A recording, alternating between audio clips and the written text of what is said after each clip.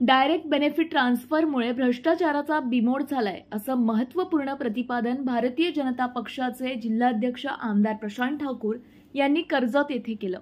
Bharatiya Janata party महाजनसंपर्क अभियान लाभार्थी संमेलनाचं आयोजन हे कर्जतमधील रॉयल गार्डनच्या सभागृहात भाजपचे रायगड जिल्हा अध्यक्ष आमदार प्रशांत ठाकूर यांच्या प्रमुख उपस्थितीत करण्यात आलं होतं.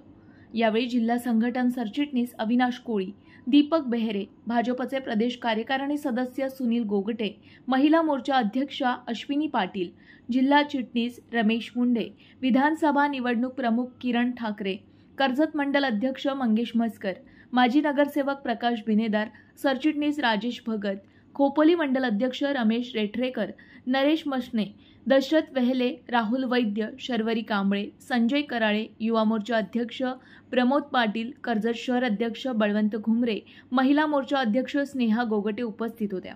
यावेळी आमदार प्रशांत ठाकूर म्हणाले की गेल्या नऊ वर्षांच्या काळात आपले पंतप्रधान नरेंद्र मोदी यांनी जनसामान्यांसाठी अनेक उपयुक्त योजना आणल्या असून हे सत्कार्य सर्वांना कळावं या योजनांचा लाभ अनेकांना मिळावा म्हणून लाभार्थी संमेलनाचं आयोजन करण्यात आलं आहे. मोदीजींनी मोफत जनधन खातं उघडून कोविड काळात महिलांच्या खात्यावर तीन महिने पाचशे रुपये पाठवले आणि त्यांच्या कुटुंबियांना उपासमारीची झळ लागू दिली नाही. पूर्वी योजनांच्या पैशांसाठी तहसील कार्यालयात हेलपाटे मारून हैराण व्हायला लागायचं. पंतप्रधान किसन योजनेअंतर्गत बारा कोटी शेतकऱ्यांच्या खात्यावर प्रत्येक चार महिन्यात दोन हजार रुपये असे सहा हजार रुपये टाकले जातात. त्यामुळे या डायरेक्ट बेनिफिट ट्रान्सफरमुळे भ्रष्टाचाराचा बिमोड झाला असल्याचं त्यांनी प्रतिपादन केलं.